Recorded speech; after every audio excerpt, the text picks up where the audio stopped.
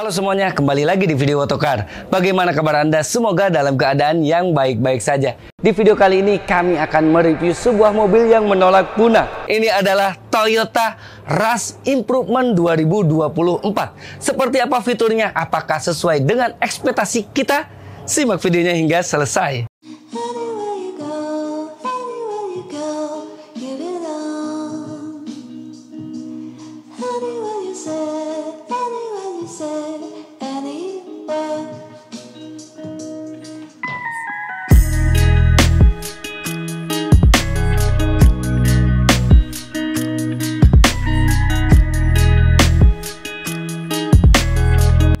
Rush merupakan low SUV dari Toyota yang sejak awal menggunakan penggerak roda belakang. Indonesia banget kan? Rush generasi pertama tahun 2006 hingga 2017 yang terkenal dengan sebutan Rush Konde. Jangan disingkat ya. Generasi keduanya lahir tahun 2017, bertahan hingga video ini ditayangkan. Di segmen entry level SUV, Rush bersaing dengan Terios, Expander Cross, XL7 dan Honda BRV. Rush facelift dibanderol dengan harga mulai 284 jutaan hingga 310 jutaan. Namanya juga improvement, tidak banyak yang dirubah. Hmm, perubahan yang dramatik ada pada grillnya. Jika sebelumnya pakai black chrome, sekarang menggunakan black glossy yang vertikal. Eh, bentar, kok bentuknya agak mirip Innova Barong ya? Untuk berlampuannya tidak ada perubahan. Headlampnya LED multi reflektor, lampu sen dan fog lamp masih halogen. Bumpernya di sini agak sedikit berbeda, cover fog juga berbeda. Ini lebih besar lagi dan warnanya juga black glossy dan ini ada semacam honeychrome-nya ya. Emboss GR di bagian kiri mobilnya. Ini mengesankan mobil berperforma harusnya. Velgnya ada sentuhan desain baru kalau yang sebelumnya melengkung-melengkung yang seperti ini dan sudah two-tone polish seperti ini.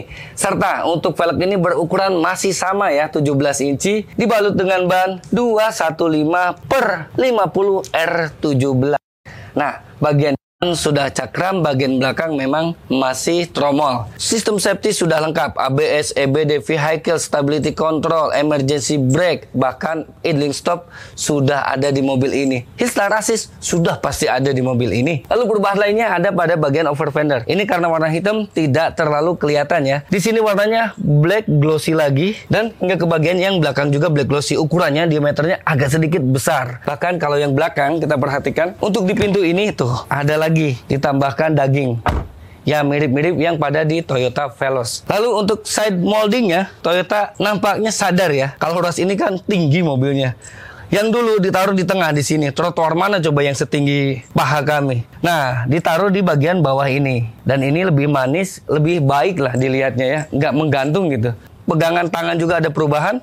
Kalau yang sebelumnya sewarna body, yang sekarang ini hitam. Mau apa pun mobilnya ini hitam ya. Spion juga sama hitam semua. Mau warna mobilnya silver, misalkan yang seperti di layar kaca Anda, tetap spionnya hitam. Lagi-lagi karena ini warna hitam, tidak terlalu kelihatan. Nah, bagian tengah ini sekarang black glossy. Mau warna silver, putih, ini tetap hitam glossy. Depoger sudah ada, tidak dihilangkan. Roof spoiler juga ada gede, antena sudah sharp kamera mundur juga ada. Sensor parkir ada. Bicara performa, Rush Improvement tidak ada perubahan. Pakai mesin 1500 cc 2 NRFE 4 silinder inline, 16 valve DOHC dual VVT-i. Tenaga maksimalnya 104 PS dan torsinya 136 Nm. Menyalurkan tenaga tersebut ke dua roda belakangnya. Ya, RWD melalui transmisi automatic dan manual 5 percepatan. Kalau dari segi dimensi tidak ada perubahannya. Untuk wheelbase-nya kita ukur dulu ya. Wheelbase-nya 2685 mm. Panjangnya 4435 mm, lebarnya 1695 mm, tinggi 1705 mm. Ground clearance-nya tinggi tuh. Kalau ini kan body clearance, ground clearance itu ada di bagian kolong biasanya di gardan. 220 mm, 22 cm nih bos.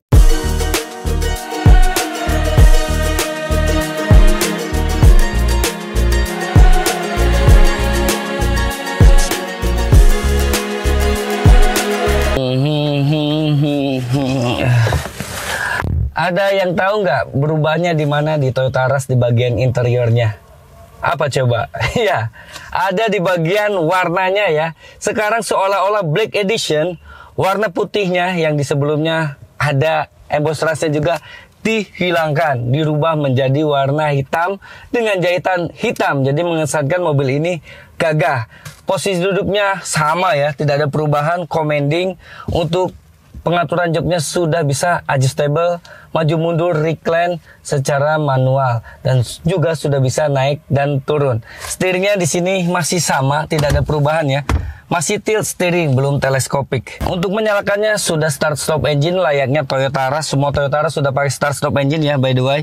Lalu ada idling stop ya seperti di Scoopy dan ada untuk traction control off di bagian kanan ini. Head unitnya intimidatif layarnya besar, ini sekitar 9 inci dan sudah support Apple CarPlay dan Android Auto. Android Autonya gak main-main wireless dan sudah support NFC untuk mengecek saldo e-tol Anda. Hanya untuk mengecek ya, tidak bisa top up. Kalau top up kan bisa lewat HP ya. Untuk Bluetooth pasti sudah ada, USB juga sudah bisa, radio sudah pasti dan di sini ada screen mirroring dan auto link serta di sini ada untuk M Toyota Notifi voice comment dan prepaid card ya. Tapi sayangnya kami tidak menemukan stiker telematic in touch apakah nanti sudah dilengkapi atau belum. Mudah-mudahan sudah dilengkapi, itu kan hanya masalah upgrade saja dan spare uang ya dari Toyota Indonesia. Mungkin kalau ditambahkan T-In Touch harganya akan lumayan melambung atau gimana? Ya mudah-mudahan bisa ya atau Anda bisa datang ke toko audio di robot aja. gak boleh ya. Lalu di bagian bawahnya sama seperti Toyota Rush.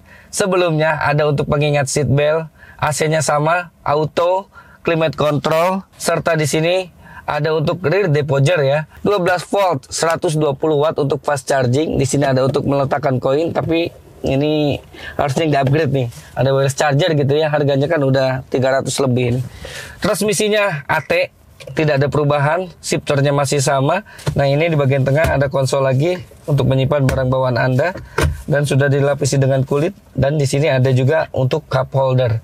Joknya masih sama ya, ada emboss GR-nya sporty, model anyaman tapi belum dilengkapi dengan kulit. Ya, kalau di kelas ini kami sih tidak berharap kulit ya. Kalaupun dikasih kulit, pasti kulit-kulitan. Untuk setir, sama seperti ras sebelumnya, mode bulat seperti ini, tidak plat bottom, harusnya plat bottom dong. Karena kan sudah 2024 ya. Di sini sudah dilengkapi dengan jahitan berwarna hitam jahitannya ada emboss GR di sini ada berapa coba emboss GR di mobil ini tulis di kolom komentar ya lalu untuk kesenangan jempol tombol untuk audio di kiri dan tombol untuk menelpon dan menutup telepon di bagian kanan. Untuk lampu di sebelah kanan untuk wiper di sebelah kiri lampunya sudah auto tentunya ya. Di atas terdapat sun visor yang sudah dilengkapi dengan kaca dandan maupun dengan lampunya. Dan di sini ada penyimpanan kacamata, lampu kabin masih sama dan ini manual dimming untuk spion tengahnya. Instrumen clusternya masih sama, tidak ada perubahan. Masih menggunakan jarum-jarum, RPM-nya sampai 8000 serta untuk speedometer sampai 200 km. Dan di bagian tengah ada untuk odometer ya. MID-nya kecil masih sama. Kamera mundur yang memang gede layarnya tapi ini mungkin belum di upgrade ya. Kita positif thinking aja belum di upgrade nggak ada garis-garisnya jadi kita bingung nih. Apakah udah deket atau enggak jadi masih menengok ke kaca sih halo Toyota semoga di upgrade nih ini kan hal yang kecil atau mungkin bisa di upgrade di bengkel Ya mudah-mudahan seperti itu ya. Seperti ini posisi duduk di row kedua dari Toyota Rush GR Sport. Posisi duduknya di sini untuk legroom masih ada sisa ruang 9 sampai 10 jari. Lalu untuk headroom masih ada sisa ruang sekitar 6 sampai 7 jari. Paha di sini layaknya sebuah SUV ya. Memang ini agak terlalu uh, kurang menyangga dengan baik di sini ya. Tapi ini sudah bisa maju mundur nih. Dan juga sudah bisa decline meski tidak rebah-rebah banget tapi sudah posisi yang rileks. Ya kalau perjalanan mudik misalkan ya jauh jadi nggak usah khawatir. Bisa lah ya nggak pegel-pegel banget. Nah jok ini juga tidak ada perubahan. Warnanya masih gelap hitam serta motifnya rajutan seperti itu serta sudah mendukung isopix. Nah di bagian door trim ini ada perubahan yang tadinya bagian yang tersentuh oleh tangan masih material kulit dan sekarang berwarna hitam. Kalau dulu kan warnanya putih ya. Dan di sini masih sama, materialnya memang keras ya. Namanya juga kelas mobil low entry. Dan di sini terdapat cup holder dan ada cup holder lagi di bagian bawahnya supaya nggak kehausan. Nah, sedangkan untuk AC blower belakang masih sama desainnya di sini gunmetal seperti ini. Jadi kesannya di sini black semua ya. Ini mode black sepertinya ya. Ras Black Edition. Pasnya seperti itu nggak sih? di tengahnya terdapat cup holder khas dari Toyota Rush dan ini hati-hati bukannya ya. Sering copot nih karena lumayan ringkih. Dan ada 12 volt 60 watt nih untuk ngecas bisa fast charging lah kalau 60 watt ya. Untuk row ketiganya bagaimana? Tidak ada perubahan ya. Kami tidak praktekkan duduk di row ketiga karena sudah kami buatkan di review Toyota Rush GR Sport yang pra facelift. Kan tahun ini sudah 2024 ya. Siapa tahu ada fitur yang sudah wajib di mobil-mobil gede. Coba kita lihat. Loh, kok gak mau ya? Loh, gak mau tah? Oh belum, ternyata belum dilengkapi dengan electric power tailgate. Ya, belum lah ya, ini kan mobil entry level. Dan ruangan bagasinya lumayan gede, tidak ada separator pemisah layaknya pada pra facelift. Di sini ada karpet tambahan, ada lampu di sini, lampu bagasi. Ya udah tidak ada apa-apa lagi. Ya beginilah. Coba kalau kita duduk begini. Tuh, enak kan? Overall, menurut kami Toyota Rush Improvement ini ya baik lah ya, ada di improve di tahun 2024 karena sudah kelamaan. Tapi yang kita harapkan sebenarnya bukan improvement seperti ini. Kita harapkan all new. Mungkin pertimbangannya karena Toyota kan pernah kita baca ya di salah satu media kalau ingin meng front wheel drive kan semua mobil yang low entry-nya. Tapi ini nyatanya masih dipertahankan oleh Toyota Indonesia mengingat mungkin di Indonesia masih ada jalan yang memang cocoknya untuk dilalui oleh rear wheel drive. Mana nih pencinta RWD. Tapi memang fitur-fitur yang diimprove juga lumayan oke okay ya. Pembaruannya mukanya terlihat berubah, velgnya juga semakin oke okay, dan dalamnya semuanya serba hitam menjadikan mobil ini cocoknya Toyota Rush Improvement Black Edition. Ada yang kami harapkan memang tidak ada di improvement ini. Contohnya seperti wireless charger karena harganya memang sudah lumayan tinggi dan untuk instrumen clusternya harusnya sudah digital. Kenapa nggak dipasangkan e-cluster yang punyanya Pelos atau Toyota Rise misalkannya keras ini? Aduh, sayang banget deh itu tidak diadopsi di Toyota Rise terbaru ini. Namun apa pun itu kami tetap suka karena Toyota Rush ini balik lagi RWD yang termurah dari Toyota. Apalagi ini sebuah SUV. Pencintanya juga banyak.